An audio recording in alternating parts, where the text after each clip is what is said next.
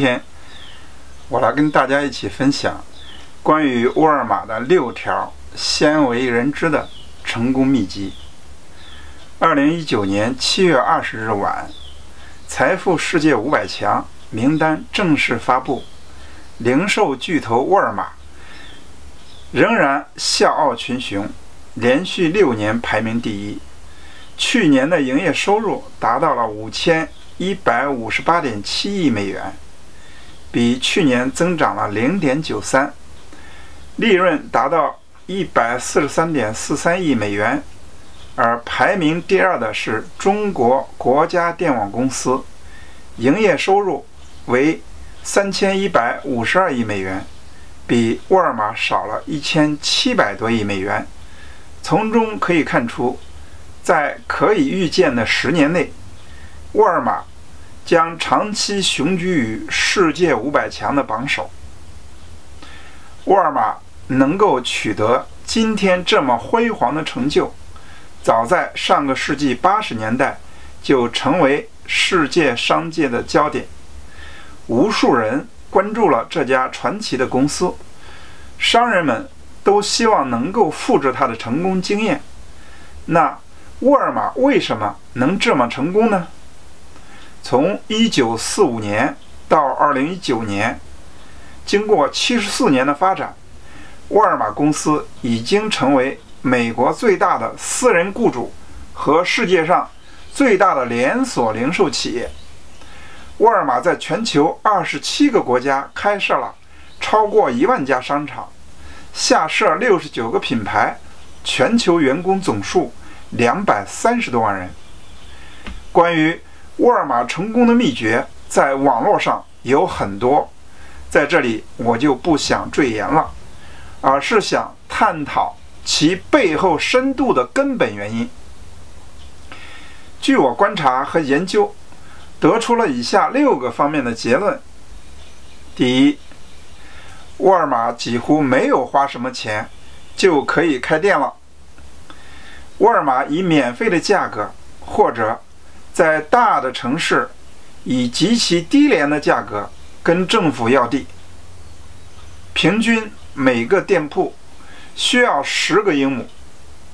沃尔玛答应解决不低于一百二十人的就业人口。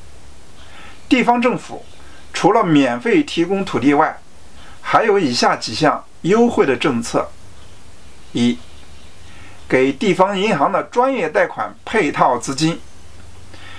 每个店都可以争取到这笔政府贴息十年的贷款。我来算笔账，每个店的建设成本大概在一千两百万美元左右。沃尔玛只需要拿出一百二十万，也就是百分之十，向银行支付首付就可以开工建设了。直到交付使用，它只需要。拿出这一百二十万。第二，这一百二十万里，他可只是暂时拿出来，等到这个店开始营业后的一百二十天以内，沃尔玛会收到地方政府给予的一次性入驻奖励资金。这笔资金是多少呢？正好是一百二十万美金。三，联邦税该咋交咋交。但州税前三年免交，到第四年到第十年减半收取。地方税，美国的地方税主要是地产税，前五年先交后返，这个返还是全部返还的。第六年到第十年减半收取。四，就是就业奖励。每年差不多可以收回劳动报酬支出部分的百分之十二。就这种优惠的力度，算算就知道了。沃尔玛高峰期扩张，每年要开很多很多店，最多的一年大概开了接近一千个店，你就知道它是怎么来的了。二，沃尔玛灵活多变的用工机制。使它霸占了美国本土最廉价的劳动力。城市超级卖场的店里，里面的员工没有多少是全职的。据沃尔玛一个店长反映，他们店里只有三十三个员工是全职的，剩余的一百人几乎都是兼职或者半职，而且员工大都是商场所在地周边的，有一定的相关工作经验的人员。别忘了，这里面也包括之前在各种百货店里从事同类工作的下岗再就业人员。沃尔玛薪资虽然不高，但是持续稳定的工作，对于靠薪水生活的劳动人民来说，比什么都要重要的多。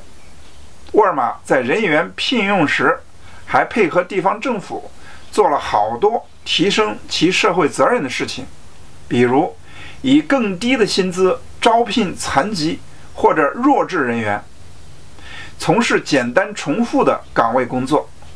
甚至还聘用一些社区老年人从事力所能及的岗位工作，以此拉低了整体员工的薪酬成本。有人担心复杂的人员结构会不会影响工作效率和质量呢？答案是不会的。沃尔玛靠的是强大的训练系统和员工的工作状况的管理体系，廉价的劳动力换来的当然是。更加强大的市场竞争能力。三，沃尔玛超级市场几乎无所不卖，让人们首先考虑了购买目的的实现。那美国人的消费习惯跟我们国内不一样，他们尽可能少跑路，在一个地方把需要的东西一下子都买齐。美国人一般也是每周。都固定的时间采购家庭用品，去了沃尔玛，大家都知道，只有想不到，没有买不到。柴米油盐酱醋茶，衣食住行游购娱，无所不包，实现购买目的变得尤为重要。在众多的市场中，唯有沃尔玛是走在了大而全的路线，三万两千多种的商品售卖。这个商业战术恰恰符合了美国人的消费习性。四，沃尔玛几乎极限的定价机制让客户欲罢不能。我曾经问过身边的人，在你居住的城市里，你日常家用消费购物都去了哪里呢？多数人的回答是沃尔玛。我又问，那是为什么呢？多数人的回答是因为东西多，价格便宜。在美国的一般工薪阶层或者普通的老百姓，生活的开支是基本限定死的，每月就是那么些。通常对所购物品的价格都十分敏感。这个人群的基数很大，按照调研机构的数据，是这个人群占比达到了百分之六十七。所以，沃尔玛的开店原则是周边五英里半径生活着三万人。其实，我调研的几个小城市的超级卖场，还达不到三万人的基数。那是因为固定消费人群的占比更高，对沃尔玛的依赖更强，价格便宜，使得居住人口更多的选择了沃尔玛。其实是不得已的，谁会跟钱过不去呢？五，精致到家的独特服务牢牢吸引着区域性的客群。大型百货公司营业时间，唯有沃尔玛实行的是二十四小时的服务制。这种服务是独特的，没有办法取代，并不是所有的人都在适合营业的时间才出来购物。我曾经在沃尔玛门口，在不同的时间段蹲守过。研究过晚上六点以后到早上六点之前的客流。事实证明，晚上六点以后到晚上十点之前，沃尔玛的客流量不但没有减少，甚至要超过白天的客流。只是在晚上十点以后，客流量才慢慢的减少下来。即便是深夜，都会有持续不断的客人来到沃尔玛买东西。很多客人的感觉是，到了沃尔玛就算到了家，所以回家的时间是无所谓的。第二个独特的服务是提供夜间的露营过夜。看似这个举措并不能给夜间营业带来什么客流，但是它打造了一种依赖。当你匆匆而过，不想花费几十美金去营地过夜的时候，就把沃尔玛当做自家的后院好了。我曾经在中部的一个沃尔玛过夜，甚至这个卖场。还有免费的热水澡，向过夜的人免费提供，令我欣喜若狂，也牢牢地把我在沃尔玛的消费选择进行了锁定。持续稳定的免费 WiFi，方便快捷的自助结算，随到随办的无理由退货，还有很多我们自己都想不到的各类特色服务举措，持续的吸引着我们。也吸引着无数的钟情于沃尔玛的消费大众。